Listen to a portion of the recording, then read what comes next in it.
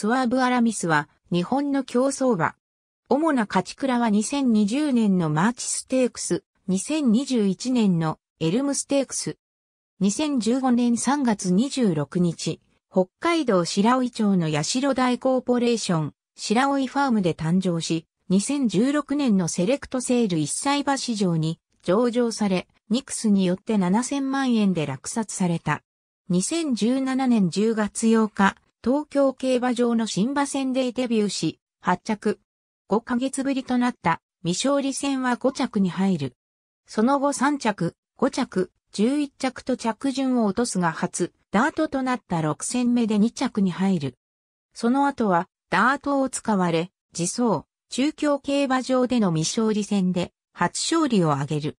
その後は、休養に入り、10月の3歳、以上500万下を一番人気に応えて勝利し、連勝を飾る。4ヶ月半ぶりの実戦となった。昇級初戦は2着、その後2着、2着と勝ちきれず久々の芝のレースとなった。北海ハンデキャップは9着と惨敗する。自走、8月のワールドオールスタージョッキーズ第3戦で、ミカエル・ミシェルが騎乗、早め、先頭から押し切り3勝目。ミシェルもこれが JRA 初勝利となった。秋の3勝クラス戦オークランドレーシングクラブトロフィーを1.4倍の圧倒的人気に応え6馬審査の圧勝で4勝目を挙げる。オープン入り初戦、福島民友カップは3着に敗れる。5歳初戦、ポルックスステークスは好位につけると、2着早やっこに4馬審査をつける解消。続く、アルデバランステークスはロードレガリスに半馬進化はされ2着と赤敗。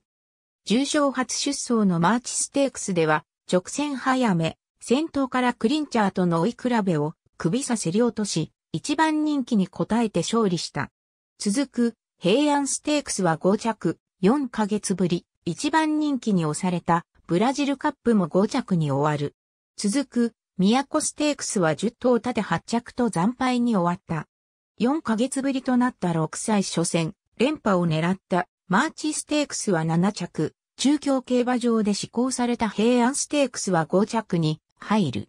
別定 59kg を背負って挑んだ大沼ステークスはダンツキャッスルにかわされるも2着を確保する。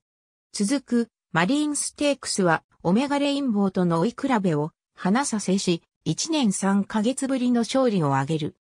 函館競馬場での開催となったエルムステークスは、安城の松田大作がひたすら追い通しながら、後位集団につけ直線で先頭に立つと、そのまま押し切って快勝。重賞2勝目を挙げた。初の地方遠征となった白山大商店は、道中2番手につけるも名称数差に3馬身、離された3着に敗れた。以下の内容は、ヤビスサーチ及び netkeiba.com に基づく。ありがとうございます。